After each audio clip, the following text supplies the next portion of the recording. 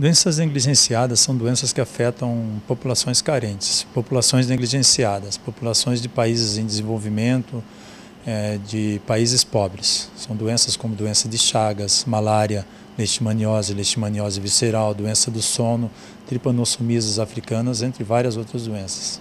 Em 2013, é, o meu laboratório aqui no Instituto de Química da Unicamp iniciou colaborações com duas organizações internacionais. Essas duas organizações internacionais, elas são baseadas em Genebra, na Suíça.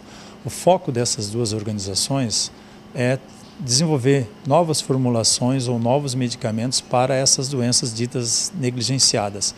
As duas organizações são a DNDI, que na sigla em inglês é Drugs for Neglected Disease Initiative, diria em português, Iniciativa Medicamentos para Doenças Negligenciadas. E a segunda organização é a MMV, que é Medicines for Malaria Venture, que seria medicamentos para erradicar a malária. O foco da DNDI é um pouco mais amplo. Doença de Chagas, leishmaniose visceral. O foco da MMV é desenvolver medicamentos, por exemplo, apenas para tratar malária. Malária é transmitida através da picada de um mosquito, da fêmea, do mosquito chamado Anopheles.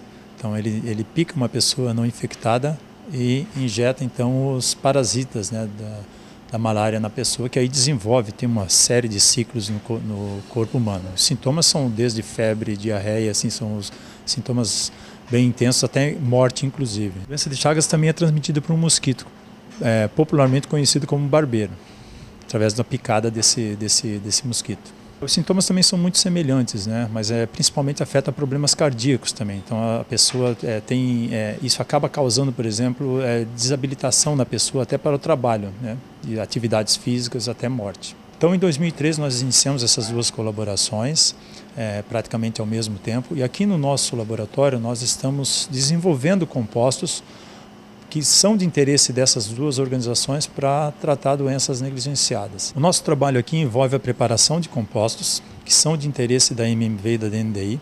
Então nós preparamos as estruturas químicas e enviamos para vários laboratórios no exterior. Um único laboratório no Brasil, que é do Instituto de Química da USP São Carlos, onde nós realizamos testes de atividade biológica iniciais.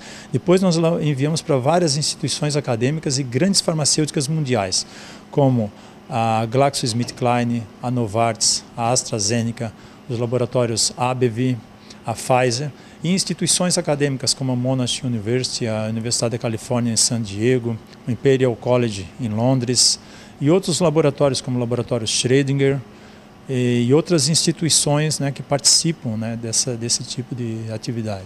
O processo de desenvolvimento de um novo medicamento, desde as fases iniciais até, por exemplo, esse medicamento chegar na mão do paciente, ele é longo, ele pode demorar de cerca de 15 a 18 anos e envolver bilhões de dólares. O objetivo das parcerias dessas organizações com a DNDI e da MMV é diminuir esse tempo para um período mais curto, de cerca de 8 a 10 anos. Primeiramente, nós precisamos identificar o composto que pode vir a ser um possível fármaco.